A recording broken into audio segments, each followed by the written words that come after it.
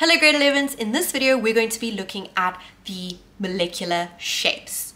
Now this is a very very important video. I show you the different shapes like bends or linear or tetrahedral. You need to know how to draw a Lewis dot diagram and determine the molecular shape from that because that will help us to determine whether a molecule is non-polar covalent or polar covalent. So watch the whole video through for all the teacher tips, subscribe for more videos like this and let's jump right into this one.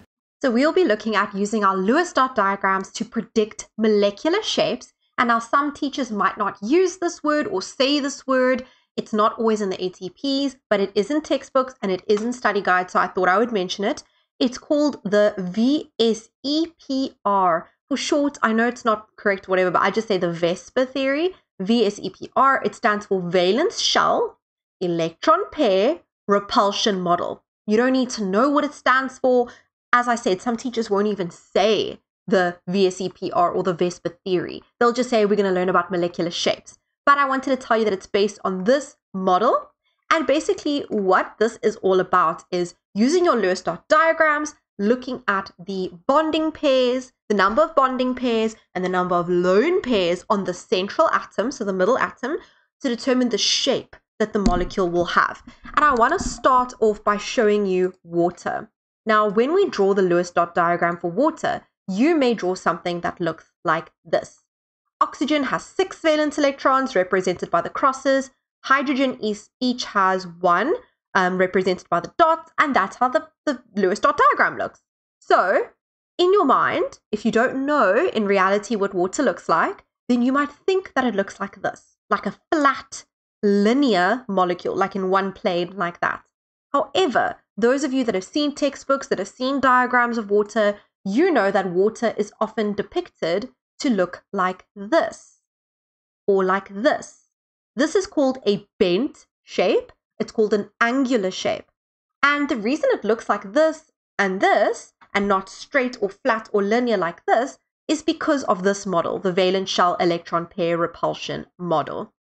What it says over here is this model is a technique for predicting the shapes of molecules you look at how the bonding pairs of atom of electrons and the lone pairs of electrons are arranged around each atom. And basically, what happens is these lone pairs and these bonding pairs are arranged in such a way to make the angle between them as big as possible. And think about it why would we want the angle around them to be as big as possible? Because if you have a bonding pair of electrons right next to a bonding pair of electrons, electrons are negative. So if you have bonding pair here, bonding pair here, negative here, negative here, like charges repel. So that's not good. It creates an unstable molecule. So if we make the angle between them bigger, so shift them down a little bit, then there's less of a repulsive force between the bonding pairs or the lone pairs that minimizes repulsion. So there's less repulsion. So we have a more stable molecule. And that is essentially what this says. Electron pairs bonding, and lone repel each other, so they arrange themselves as far apart as possible to minimize the repulsion forces. This ensures that we have a lower potential energy. And if you remember my video on the graph of potential energy, then you know low potential energy is good. It means stable molecule. So these are essentially the shapes that you need to know. I've listed all of them here. I will go over each of them in detail with examples. I have a summary table. I'll also show you this really cool simulation that illustrates this really, really nicely. But what I'm showing you at the moment is a nice little summary. We call these, these listed over here, the ideal shapes. And ideal shapes have no lone pairs on the central atom. Okay, the central atom is the middle atom. If you look at this diagram over here, for example, this, I don't know if you can see where I'm pointing really, but this over here is a bonding pair. That's a bonding pair. That's a bonding pair. This is the central atom. There are no lone pairs. Contrast that to this molecule over here. Here's a bonding pair. Here's a bonding pair. But this over here in this bubble, that's a lone pair. You can see the little pair over there. Here's another lone pair. So just by the way, this is actually a a, a proper diagram, a 3D model of what water looks like in real life. Remember, it's got the bonding pair there, so that would be this one. It's got the bonding pair there, which would be this one. Then it has two lone pairs. Think back to the Lewis dot diagram we drew. There's one lone pair, there's another. And I hope you can tell that the angle between the bonding pairs and the lone pairs, that angle there, is maximized. So they're as far away from each other as possible to minimize repulsion.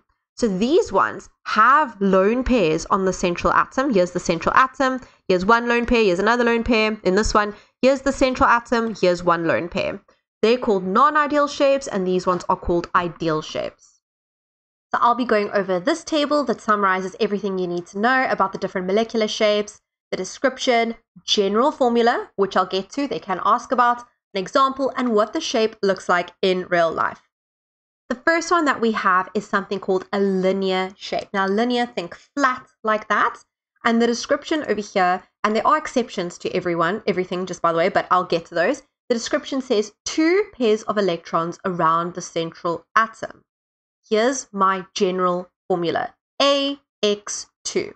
Now, A is the central atom, and then X2 basically says that there's two atoms bonded to the central atom. Here are my examples CO2 and BeCl2. So, A is my central atom. Here you can see in carbon dioxide, it's the carbon. In BeCl2, it's the Be, it's the beryllium. And then X2 is telling me that there's two atoms that are joined or attached or bonded to the central atom. So O2 or Cl2. And this is more or less what the shape looks like. You can see it's linear, you can see it is flat. You do not need to draw the 3D version of the shape.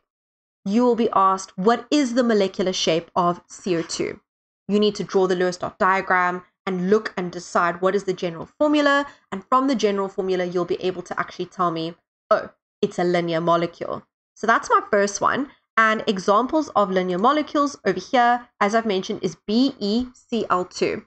If you take a look at the Lewis dot diagram of BeCl2, um, they didn't use different symbols here in their Lewis dot diagram because they use different colors. But if you were to do this, please use different color symbols. So for BE, you could use crosses, and for Cl, you could use the dots. Here you can see that this is the central atom, Be, okay, and it's bonded to two chlorines. So AX2 is what we call the general formula. So this is a linear shape. Please also just take note that there's no lone pairs on the central atom.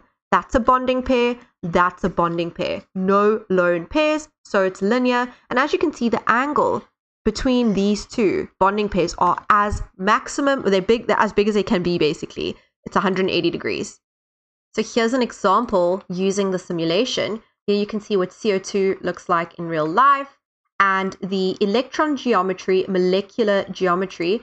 The electron geometry just tells me, okay, based on the pairs of electrons that I have over here. So this over here, these two, I don't know if you can see where I'm pointing, but these two, I know it's a double bond, but essentially it functions as like one shared pair. Although I know it's two shared pairs, but in this model, that's what they say and there's another one over there. So it's linear. The molecular geometry is also linear. There's no lone pairs to distort this molecule.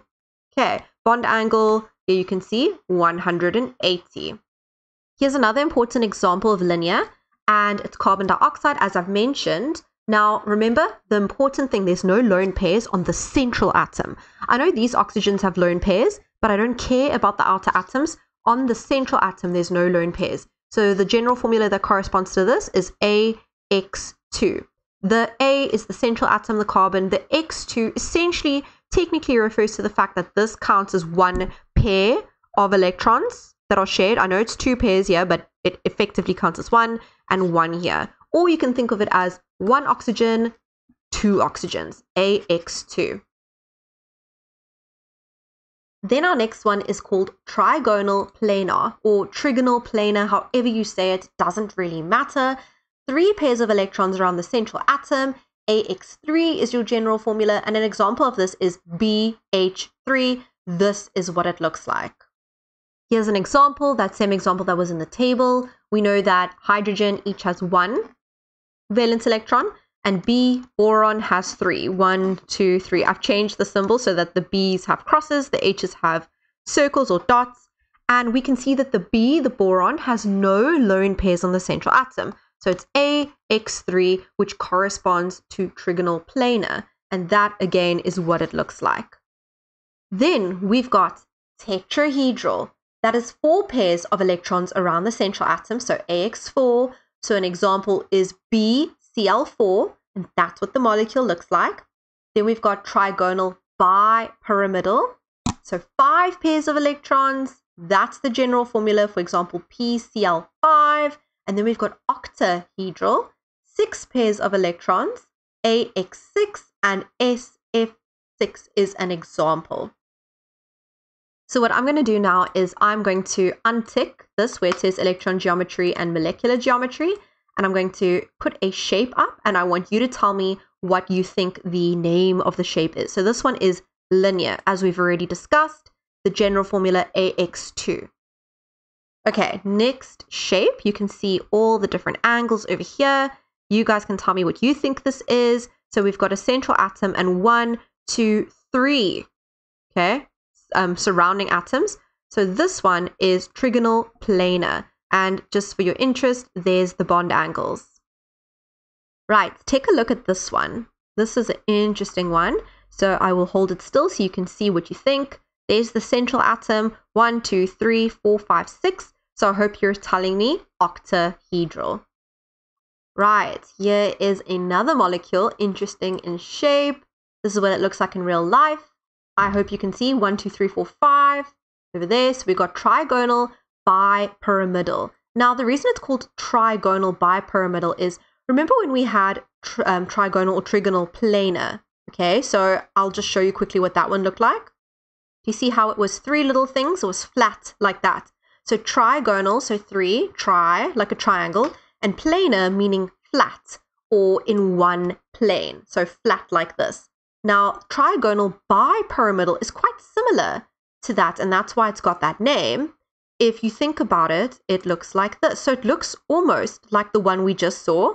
I don't know if you can visualize it, but it's like the flat one. It's like trigonal planar, but it has one going straight up and one going straight down, like little two pyramids. That's why it's called bipyramidal. It's like a pyramid on the top and a pyramid on the bottom. Here's another type. That is tetrahedral. Now let's take a look at what we call the non-ideal molecular shapes. Remember the ideal molecular shapes had no lone pairs on the central atom. The non-ideal molecular shapes, they have lone pairs on the central atom and we will speak about this in another video, but they have an asymmetrical charge distribution because of this lone pairs on the central atom. So we've got two that you need to know. There are more that exist, but the ones that you guys need to know is bent or angular like water. So take a look at the general formula. It's AX2 E2. The E2 means lone pairs. And then trigonal pyramidal. Now, don't get this confused with trigonal bipyramidal. This is trigonal pyramidal. It forms like one little pyramid. You can see that looking at this diagram over here. Those three go down like this. It looks like a little pyramid with the lone pair at the top. Okay, right. So there we go. And it's AX3E. Remember the E means lone pairs. So here's an example of a bent or an angular one. As I mentioned, water is a good example of this one. If you draw the Lewis dot diagram, you can see that we've got our central atom, which is A. We've got two bonding pairs over there, or two bonded atoms on the side. That's where the X2 comes from. And the E2 comes from the fact that there's not one lone pair, but two lone pairs. This is what makes it bent or angular, and this is how water looks in real life. Then looking at an example of trigonal pyramidal, what we can see when we draw the Lewis dot diagram is our central molecule, or our central atom A.